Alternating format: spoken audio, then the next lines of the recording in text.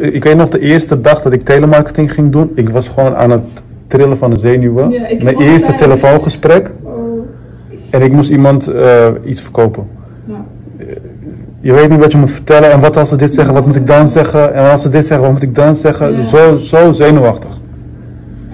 En eh, ja, Ik heb dat nog steeds. en, en nu, ook de eerste keer toen ik de camera, ik ging hier al ging ik opnemen. ik zat hier al, toen ging ik uitleggen, vijf meest gestelde vragen, ja, weet je wel, einde van het jaar. Ja. Ik, was zo zin- ik had hier allemaal dozen neergelegd, zo. Van die, eh, deze kratten had ik zo neergelegd. Zodat ik ging hier zitten, zodat mensen me niet zouden zien als ze langslopen. Oh, ja. Ik was zo zenuwachtig, denk zo van, wat is hij aan het doen? En, weet je? Zo, zo is het begin. Ja. En de afgelopen weekend was ik weer aan het opnemen, die ene video.